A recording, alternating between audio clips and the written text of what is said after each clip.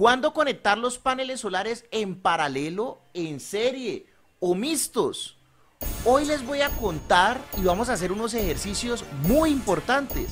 Así que quiero que participen en ellos y se queden hasta el final para que aprendamos mucho relacionando el análisis de las fichas técnicas.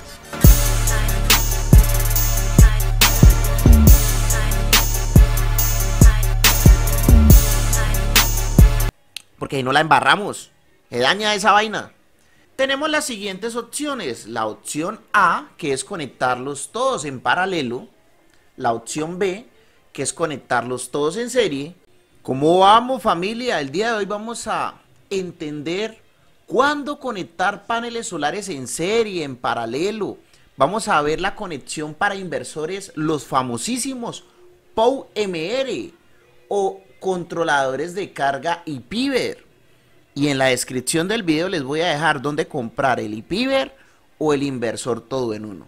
Así que quédate hasta el final, pero de una vez vamos a darle like con la mejor energía. Bueno familia, a ver pues, vamos a empezar con el controlador IPIVER. IPIVER de 40 amperios. Lo primero que hay que hacer es ver la berraca ficha técnica en donde vamos a encontrar las características, por ejemplo, de la capacidad en amperios del mismo controlador. En este caso vamos a trabajar a 24 voltios. El controlador nos está informando que a 24 voltios nos puede aceptar hasta 1040 vatios instalados en paneles. ¿Qué significa eso? Que podríamos colocar hasta 4 paneles de 250, porque recuerden que la potencia se suma así está en serie paralelo mixto. 250 pues por 4 son 1000 y acepta hasta 1040, entonces mejor dicho. Y la tensión máxima que aguanta en panel solar, en VOC, es de 100 voltios. Los paneles que tenemos son paneles de 250 y debemos fijarnos en el VOC y en el ISC. En este caso el VOC es 37.4 y el ISC es 8.86 tenemos las siguientes opciones. La opción A, que es conectarlos todos en paralelo. La opción B, que es conectarlos todos en serie. O la opción C, que es conectarlos en un sistema mixto. Y les voy a dar 5 segundos para que seleccionen primer ejercicio en los comentarios. Coloquen primer ejercicio, opción A, opción B, opción C. ¿Listos? 1, 2, 3, 4, 5. Muy bien familia, entonces vamos a analizar cada una de las opciones. En la opción A, si colocamos todos en paralelo, nos quedaría en total pues los mismos mil vatios de potencia instalada. El voltaje no aumenta, serían 37.4 voltios, pero la corriente serían 35.44 amperios, sería mucha corriente. Si tú has seguido los videos anteriores y eres viejo en el canal, ya sabes que yo no recomiendo trabajar mucha corriente, porque al tener mucha corriente la caída de tensión va a ser mucha en X distancia y si hay caída de tensión eso no te va a cargar, eso no te va a cargar. Ahora bien, si los colocamos todos en serie, tendríamos pues la misma potencia, 1000 vatios, pero con un VOC total de 149 voltios y una corriente de 8.46 amperios. Si vamos a la ficha técnica del controlador, el controlador te está diciendo, vea, no le va a meter más de 100, porque me quemo o me autodestruyo. Entonces, este en serie, la verdad, no vale la pena, porque estaríamos afectando al controlador excediendo el voltaje. Este que está aquí en paralelo sería mucha corriente y poca tensión. Medio llovizna, medio está lloviendo un poquito, medio está nublado el cielo y, y no carga el sistema porque la tensión se cae en esas condiciones de lluvia o, nubosidad. Lo mejor es trabajar con una tensión altica. La mejor opción sería el sistema mixto. ¿Por qué? Tendríamos en total 74 voltios. Recuerda que el controlador aguanta hasta 100. Estaría bien. Yo recomiendo tratar de trabajar más o menos un 30% o un 40% como mínimo de la, de la tensión total del controlador. Si el controlador te dice 100 voltios, te recomendaría como mínimo trabajarlo a 60, 70 voltios en paneles, para que no te pase lo que te estoy comentando de que si está lloviendo, si está nublado, se caiga mucho la tensión y no te cargue. Esta sería la mejor opción. La corriente es 17.72 amperios. Estamos bien, estamos manejando la tranquilidad. Y máximo 1000 vatios. Entonces, esta sería la mejor opción. Si, has elegido la opción C, eres el ganador. Muy bien. Ahora, este espectacular por POW MR de 5000 vatios todo en uno que en, la descripción te voy a decir dónde comprarlo en, en Amazon de forma segura. Pues lo primero que hay que ver es el controlador, qué características tiene. Aquí me está diciendo que máximo me aguanta 5500 en paneles, 22 amperios como máximo en panel y 500 voltios como máximo en panel. Él mismo te está diciendo que es lo máximo.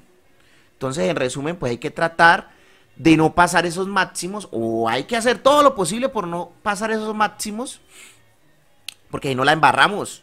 Se daña esa vaina. Entonces, tenemos ahora un panel Canadian Solar de 645. Vamos a concentrarnos en el BOC y en el ISC. Y tenemos 8 unidades. ¿Cómo carajo lo vamos a conectar? Bueno, tenemos estas opciones. La opción 1, la 2 y la 3. La 1, paralelos todos. La 2, series todos. La 3, mixto. Y te voy a dar 5 segundos para que elijas una de estas tres opciones. Entonces colocas ejercicio número 2, guion, opción 1, 2 o 3. ¿Listos? 1, 2, 3, 4, 5. Bueno, vamos a analizar cada uno de ellos. Si los conectamos todos en paralelo, tendríamos una tensión muy poquita, de 44.8 voltios. Y tenemos una corriente grandísima de 146.8 amperios. Si nos vamos a la ficha técnica, nos dice que solamente nos va a aceptar máximo 22 amperios. Y que como mínimo nos recomienda que le demos 90 voltios. ¿Ok? 90 voltios como mínimo. Entonces, y la recomendada 140 voltios. Seguimos, el serie nos da 5160 al igual que el anterior. Máximo este acepta hasta 5500, o sea que estamos bien. En cantidad de paneles estamos bien. El voltaje son 358 voltios y la corriente 18.35. Si me dice que máximo acepta 500 y estamos dando 358, estamos bien. Si nos dice que máximo nos aguanta 22 amperios en paneles y estamos dando 18, estamos bien. Estamos bien.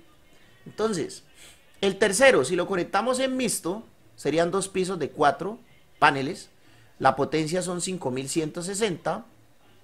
Estamos por debajo de los máximos que son 5500.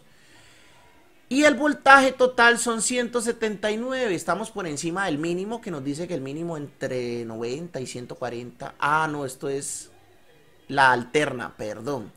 El mínimo, vuelvo y se los digo. El mínimo es por ahí un 30% por debajo del máximo. Es lo que yo recomiendo, ¿no? Ese controlador estoy casi seguro que arranca desde los 90. Por casualidad aquí aparece 90, pero máximo desde los 90. Pero yo le recomiendo que un 40-30% por debajo del máximo. Entonces aquí en este mixto estamos en 179, pues el voltaje estaría más o menos bien, sí. Y la corriente 36.7. Ay, ay, ay, ay. La corriente máxima que nos aguanta son 22 amperios. Ahí sí la estamos embarrando. Entonces, el ganador y los ganadores son los que eligieron el circuito número 2. Compañeros, familia, estos son los consejos que les doy el día de hoy para saber cuándo conectar tus paneles solares en paralelo, en serie o en mixto. Primero hay que ver las capacidades del controlador.